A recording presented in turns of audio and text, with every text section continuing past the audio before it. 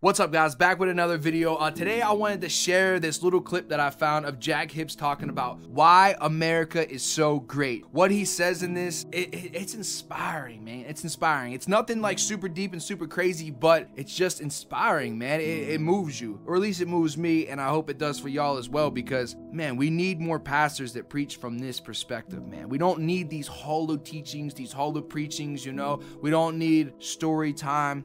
We need battle time. We need war time. We need building time, growth, progress. We're not supposed to be stagnant. We're not supposed to be tickling people's ears. We're supposed to be preaching the word of God and how we can walk this thing out in the modern world. But yeah, check this out. This is this is pretty cool, and then we'll talk about it after.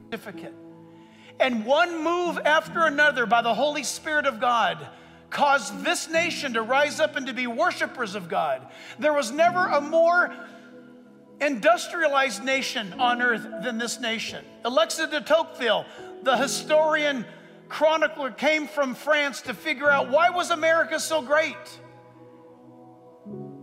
And Tocqueville said that the greatness of America was not found in its commodious seaports. It wasn't found in its golden fields of grain, and it wasn't found in its industrial prowess and it wasn't found in its military strength. Alexis de Tocqueville said, I discovered the strength of America when I went into its churches because it was a people that had a knee bent to God. Somebody might say, oh, this is Christian nationalism. People say this when they're losing their argument. We do not believe in Christian nationalism as you define it.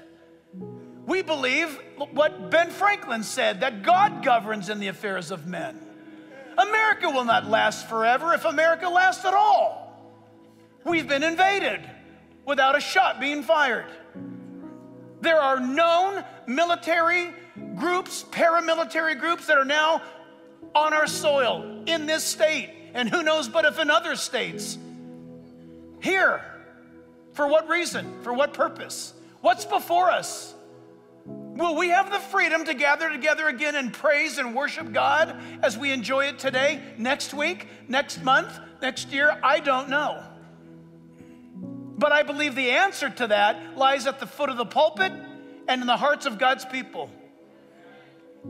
If the pulpit preaches the gospel of Jesus Christ and makes disciples of all who respond to that gospel, then there might be, there might be a pause from heaven what makes America so great? What made America so great wasn't the awesome cities and buildings and all the amazing things that we've actually invented in this in this country, but it was the heart of the people in the churches. It was the people that were willing to bow down, kneel down and pray. It was the hearts of the men and women in the churches and to go to war and fight, to build something, to build a country, to build a place that wasn't perfect, but was filled with men and women who were willing to fight and die to create one of the most perfect nations in world history. There's a reason why, even in all the chaos and destruction that's going on in America right now, there are still people that are willing to risk their lives by the millions to get into here and have a chance at what we have here, man. The hope, the freedom. It's not all gone because I can still make this video. You could still watch this video. We could still go to church. We can still talk about God for right now. What makes America so great is not the politics, it's not the grand cities, it's not the fast cars, the, the fancy watches, the fancy clothes, the, the fancy clothes, our big houses. What makes America so great, what made America so great to begin with,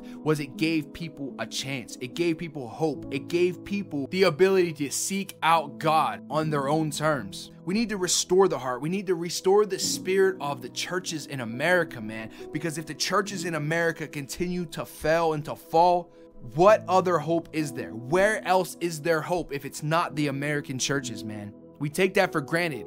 You know, we protest, but the day is gonna come where we wish we didn't.